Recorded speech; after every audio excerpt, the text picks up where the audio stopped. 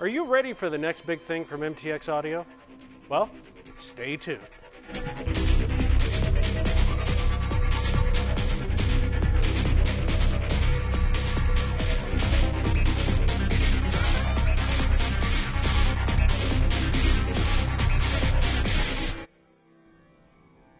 Hey everyone and welcome back. In this video we're going to take a look at our new family of 12 volt amplifiers, the Jackhammer series.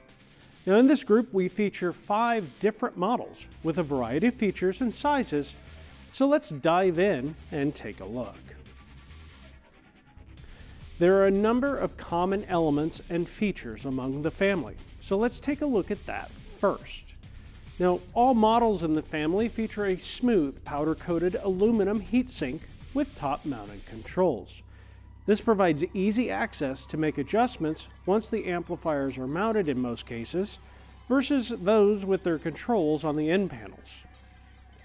Wiring and speaker connections are made using angled set screw terminals that help pull in the wire as they're tightened, making for a more secure connection compared to the more traditional vertical terminal. Input connections for RCA cables are found on the opposite end, as well as input configuration adjustments. The Jackhammer series of amplifiers can accept both low-level or RCA type signals, as well as high-level speaker wire input signals. When using a speaker level signal for input, an additional adapter is needed to convert from a bare wire to RCA style connection but you do not need to use a high to low level converter. That conversion is handled in the amplifier, so all you need to do is tell it what type of signal you're using. Now the other common feature is the turn on signal selector, which can be set to use a traditional remote input or for music signal turn on when a remote wire may not be available from the source unit. Now it's time to take a look at the model breakdown. First, let's look at the monoblock amplifiers. There are three models in the family, a 500, 1000, and 1500 watt unit. All feature 4 gauge power and ground terminals, as well as 12 gauge speaker output connections, and all are 1 ohm stable. Control features of the amplifier include a variable gain control, a variable low pass crossover adjustable between 40 and 250 Hz, a variable subsonic crossover adjustable between 20 and 50 Hz, and finally a bass boost circuit adjustable from 0 to 12 dB centered at 45 Hz. Lastly, all monoblock models feature an external bass control to give you remote control of your sub output level. We also feature two multi-channel models in the Jackhammer family, a 4-channel and a 5-channel. Let's look at the JH304 4-channel first. Now like the monoblock models, you have selectors for both signal input type as well as turn-on signal, but also the addition of a 2 or 4-channel selector. Now with this control, you can set up the inputs based on how many channels of input signal you have. This then routes the signal to the appropriate output channels.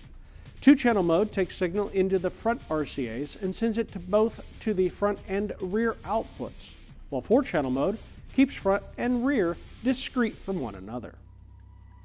The top mount controls include independent gain controls for both front and rear channels, including when in two-channel input mode. Selectable crossover switches allow you to configure both front and rear outputs to be full range, low pass, or high pass output, and crossover frequency is adjustable between 40 and 250 Hz. Now the amplifier is rated to work at 4 or 2 ohms per channel, and both front and rear outputs can be bridged to a 4 ohm load. The last model in the family is the JH705 5-channel unit. Now this amplifier combines both the features of a 4-channel and monoblock into a single chassis.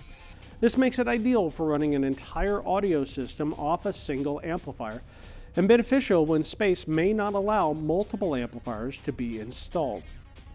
The unit features front, rear, and subwoofer input connections or can be configured for fewer inputs in the event your source unit may not have this many outputs. Selector buttons on the input panel allow you to change to either a 2, 4, or 5 channel input to match your situation. Top mounted controls allow you to fine tune your sound system with independent gain controls for front, rear, and sub channels, variable and selectable full range, high pass, or low pass crossovers for front and rear channels, a variable low pass and subsonic filter for the sub channel, and a bass boost control as well. Finally, like the monoblock amplifiers, an EBC controller is also included to give you direct output level control over the sub channel. Well, this completes our first look at the new Jackhammer amplifiers by MTX. For more information, go to mtx.com and get all the technical specs on these models.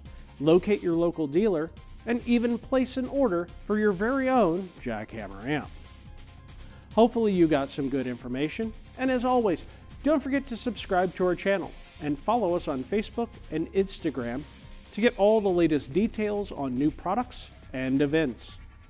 Thanks for watching, and I'll see you again in the next video.